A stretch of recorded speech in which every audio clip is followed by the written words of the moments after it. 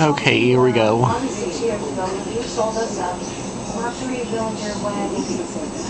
Let's get saving with Charter. Let's stay home, have some fun. All the best cable and internet. Telephone too, and you got a sure bet. Save with Charter Cable, Internet, and Telephone. Bundles starting at $99.97 a month. Click or call today. A teenager had a brush with death on purpose at an Amherst On. railroad crossing. She forced an Amtrak train to make an emergency stop. Little did she know, a rail enthusiast with a camera caught the entire incident on tape.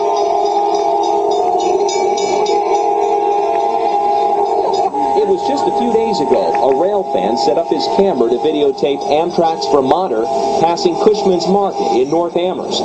As the train approached Pine Street, one of the two girls who was standing along the tracks ran to the center of the railroad crossing and stood there with the train speeding toward her. The girl darted back to the edge of the tracks, but not before the engineer applied his emergency brake, though there was no way he could have stopped in time.